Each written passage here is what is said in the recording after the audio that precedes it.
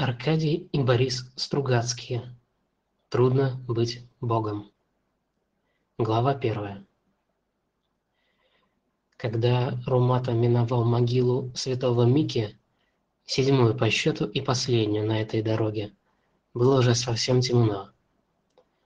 Хваленый хамахарский жеребец, взятый у Дона Томео за карточный долг, оказался сущим барахлом.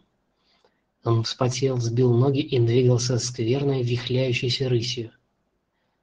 Румата сжимал ему коленями бока, хлестал между ушами перчаткой, он только уныло мотал головой, не ускоряя шага. Вдоль дороги тянулись кусты, похожие в сумраке на клубы застывшего дыма. Нестерпимо звенели комары. В мутном небе дрожали редкие тусклые звезды.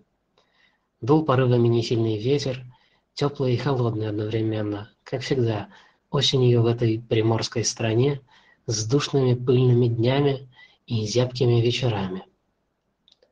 Румата плотнее закутался в плащ и бросил поводья.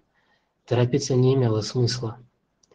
До полуночи оставался час, а икающий лес уже выступил над горизонтом черной зубчатой кромкой.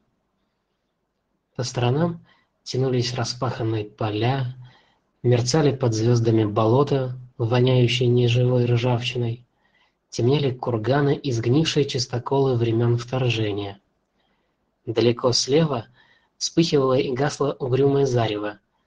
Должно быть, горела деревушка, одна из бесчисленных однообразных мертвожорок, висельников, ограбиловок, недавно переименованных по августейшему указу в желанные, благодатные и ангельские.